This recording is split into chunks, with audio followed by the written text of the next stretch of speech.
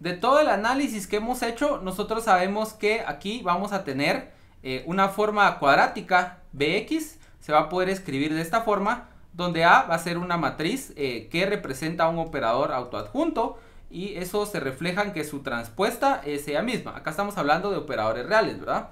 Y entonces resulta que aquí yo voy a tener, entonces yo voy a tener, entonces acá tengo, en algunos casos,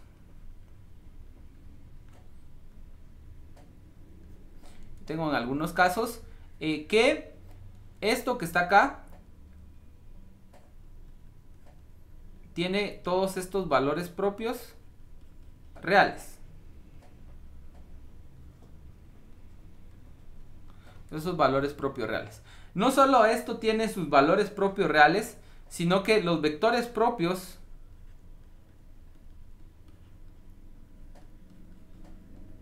Estos son vectores propios sí corresponden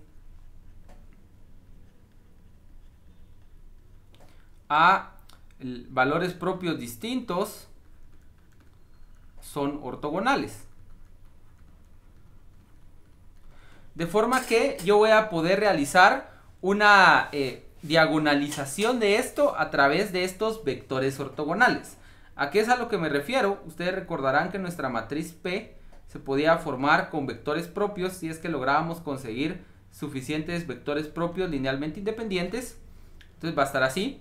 Estos que están acá, al ser n vectores propios, todos van a ser linealmente independientes. Entonces van a formar una base. Entonces yo tengo esta base B. Aquí. Esta base. Y entonces, eh, al ser estos ortogonales, lo que yo voy a tener es que P transpuesta por P. Entonces aquí yo tendría los vectores estos como filas, ¿verdad? Yo tendría B sub 1, B sub 2 hasta B n, así, como filas. Estos son filas, estos están transpuestos. Y acá tendría las columnas B sub 1, B sub 2 hasta B n. Y entonces, al hacer el producto de estos dos, aquí vamos a hacer la matriz, tendría B sub 1 con B sub 1. B sub 1 con B sub 2 y así B sub 1 con B sub n. En la segunda fila tendría eh, B sub 1, B sub 2, perdón, con B sub 1, B sub 2 con B sub 2 y así sucesivamente hasta B sub 2 con B sub n. Algo de lo que yo me voy a dar cuenta acá es que recuerden que esta es una expresión que simulaba o más bien nos da el mismo resultado que el producto interno. Entonces, si yo ya me garanticé que estos vectores son ortogonales, no ortonormales, no ortogonales, solo los logré ortogonalizar, no los he normalizado. Podría normalizarlos, lo cual sería genial, pero eh, si yo solo los tengo ortogonales, aquí, nosotros sabemos que todas estas entradas van a ser 0, esta no, perdón, esta va a ser 1, o va a ser más bien la norma de B 1. Esta que está acá va a ser 0. Esta que está acá va a ser 0. Esta que está acá va a ser 0. Esta que está acá va a ser la norma de B sub 2. Y esto va a ser 0. De forma que yo sé que la inversa de este puede ser calculada simplemente si yo garantizo, si normalizo los vectores.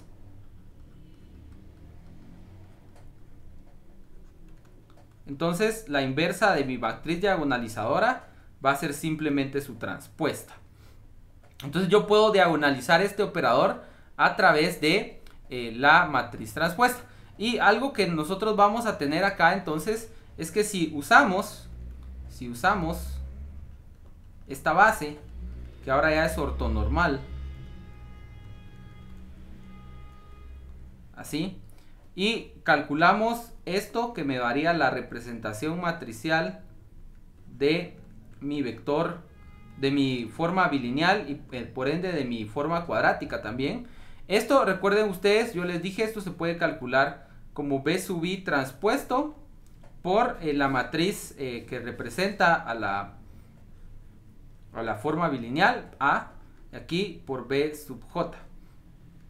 Entonces, como B sub j es un valor propio de este, yo sé que esto se va a transformar en lambda por b sub j. Este lambda lo podemos sacar y entonces acá vamos a tener b sub i transpuesto por b sub j. Y esto no es otra cosa más que, este sería lambda j, más que el producto interno entre b sub i y b sub j. Pero como ya les había dicho,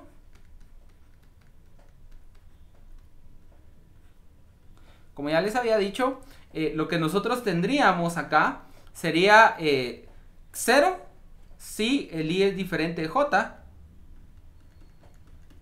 y lambda i si el i es igual al j. O sea, aquí vamos a tener una forma eh, um, cuadrática que va a ser diagonal. Entonces, al hacer, al tener esa forma cuadrática diagonal y nosotros tratar de calcular la forma cuadrática, y aquí vamos a tener el vector x. Entonces, lo que vamos a tener aquí va a ser eh, lambda 1 por alfa 1 cuadrado más lambda 2 por alfa 2 cuadrado más hasta más lambda n por alfa n cuadrado donde estos eh, alfa son las coordenadas de este vector respecto de la matriz ortogonal. De hecho, estas las podemos calcular simplemente como las proyecciones o más bien como las eh, como los productos internos, usando el producto interno, porque tenemos una base que es ortonormal. Entonces acá tenemos respecto de O. Esto va a tener aquí alfa 1, alfa 2, así. Son las coordenadas de este. Entonces, esto me va a permitir a mí resolver un problema que es muy útil en optimización, que es saber cuándo esta forma cuadrática va a ser positiva. Y esto es si es positivamente definida.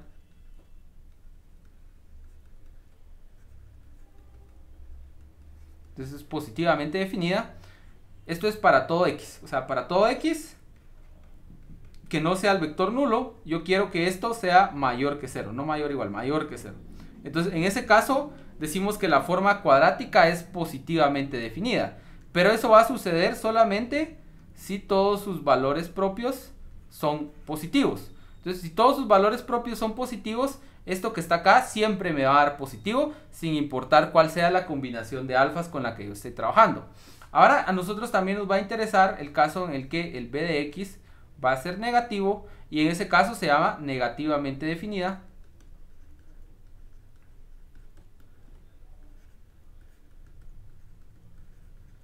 Y esto va a suceder solo si todos los valores propios son menores que cero. Entonces ahí vamos a poder saber nosotros si nuestra eh, matriz es positiva o, o nuestra forma cuadrática es positiva o negativamente definida. Si existen algunos positivos y algunos negativos. Esto que está acá va a tener, vamos a decir que tiene una inercia de, acá vamos a tener el número de positivos y acá el número de negativos. Entonces esa es la inercia. Los, los, las formas bilineales positivamente definidas tienen una inercia n,0 y las negativamente definidas tienen 0,n. Ahora, si por alguna razón existen algunos lambda i diferente de 0, entonces decimos que B es degenerada. Vamos a aplicar esto a un operador específico.